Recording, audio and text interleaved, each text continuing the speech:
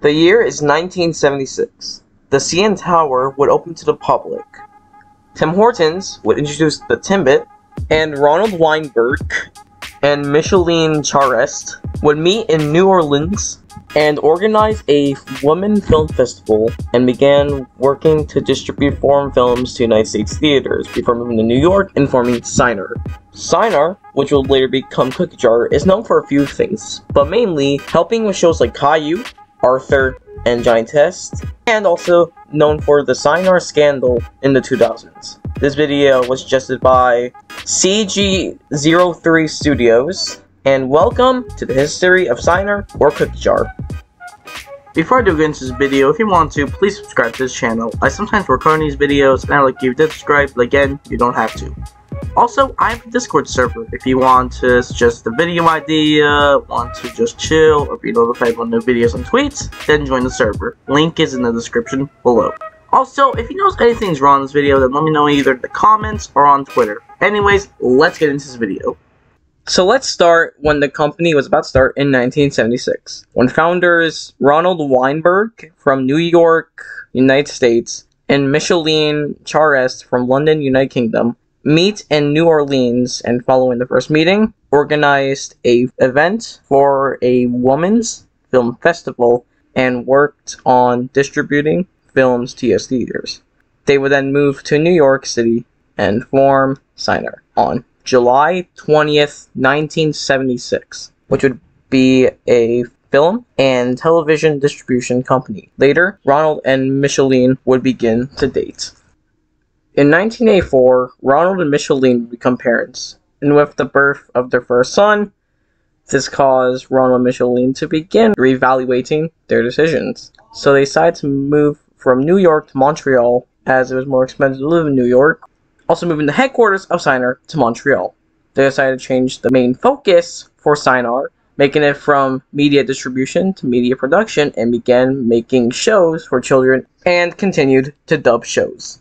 In 1993, Cinar became a publicly traded company and would begin to buy out companies starting in 1996. When Cinar bought British animation studio FilmFair, the company would later absorb into Cinar and would shut down in 1998.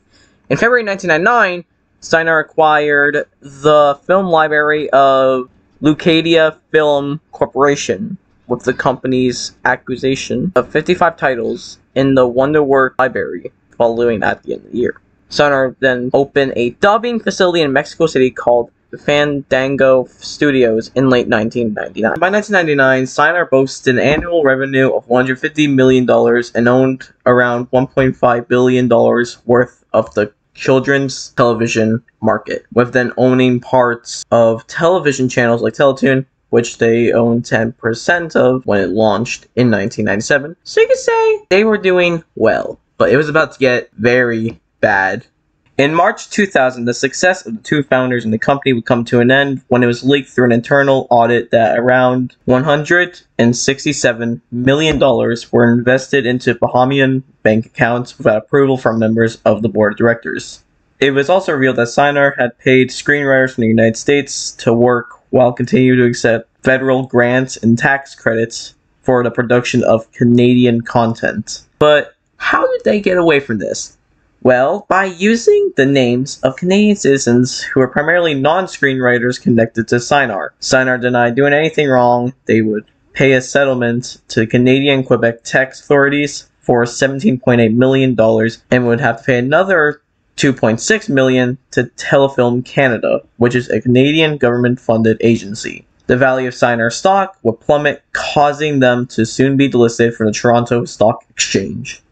People speculated that there were multiple people involved with the investment scheme, including the founders of Cinar and CFO Hasanain Panju. It was claimed that Charest, Weinberg, and later Panju used Cinar as a piggy bank and schemed to transfer funds out of the company through a series of transactions to its own offshore holdings company.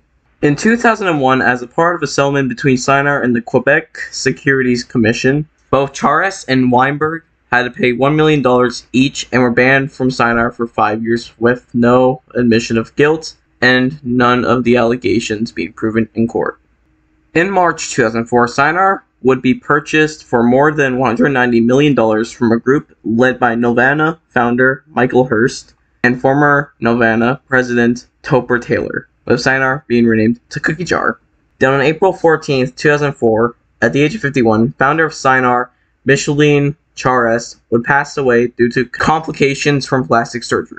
In June 2008, Cookie Jar would buy DiC Entertainment. The deal would be finished a month later, and DiC would merge and fold into Cookie Jar. Also in the DiC deal, Cookie Jar also acquired Copyright Promotional Licensing Group and one-third interest in international children's television channel KidsCo. It was also revealed that Cookie Jar was planning to buy the Care Bears, Strawberry Shortcake, and Sushi Pack franchises from American Greetings for $195 million. The deal was supposed to be finalized in December 2008, but didn't go through as they couldn't line up financing, and by late 2008, considering the scenario, the deal didn't go through. But then, in late March 2009, they made a counter deal to buy the Care Bears and Strawberry Shortcake franchise from American Greetings for $76 million, and Cookie Jar had until April 30th, 2009 to include the American Greetings. My guess is that they weren't able to pay it because in May 2009, American Greetings would file a $100 million lawsuit against Cookie Jar, with Cookie Jar filing a different lawsuit against American Greetings for 25 million. On March 2nd, 2011, arrest warrant was issued for co-founder Ronald Weinberg, former CFO Hasanain Panju, as well as two other people related to the 2000 Cinar scandal, with the crimes being listed as multiple counts of security fraud related to the Cinar scandal and forgery-related charges. Weinberg would be arrested nine days later. Meanwhile, CFO Hasanain Panju and one of the two people associated with the scandal named Lino Matteo, who was the former president of Mount Real, was arrested the day after a warrant was issued. And the other person who was associated with the scandal named John Xanthoudakis was arrested on March 15, 2011. The court case would go on for five years and would end in 2016. Then on August 20th, 2012, DHX Media, or current day WildBrain, announced that they would acquire Cookie Jar for $111 million. The purchase made DHX the world's largest independent owner of children's television programming. The acquisition would be completed on October 22nd, 2012. On January 24th, 2014, Hasanain Panju was sentenced to four years in prison. Then finally, following the end of production for season 6 of Johnny Test, Cookie Jar would shut down and merge into DHX Media on December 25th, 2014. So you might be saying, that's the end of the story, right? Well, we gotta close another book. On October 1st, 2015, Hasanain Panju was granted day parole for three months, before later being granted full parole for the rest of his sentence. On June 2, 2016, Ronald Weinberg, John Xanthoudakis, and Lino Matteo were found guilty of the charges laid upon them in 2011. Then, on June 22, 2016, Weinberg would be sentenced to nine years in prison, while Xanthoudakis and Matteo got sentenced to eight years in prison each.